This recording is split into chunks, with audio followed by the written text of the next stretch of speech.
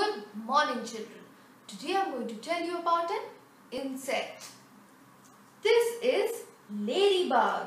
It has got a red body with black spots on its back and tiny antenna on its head. It can also fly. Do you know where to find the ladybug? The ladybug is found crawling on the grass, trees and flowers. The ladybug is a type of beetle and you can find 20 spots on its back.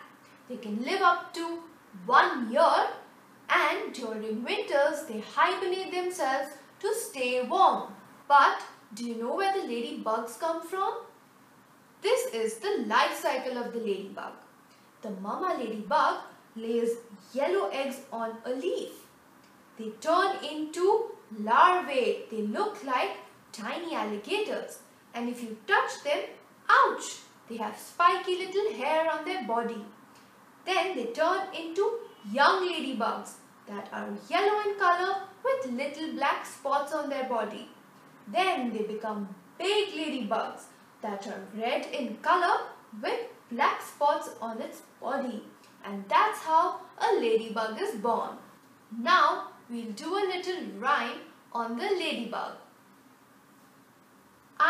Little ladybug, pretty as can be. I'm an insect you can see.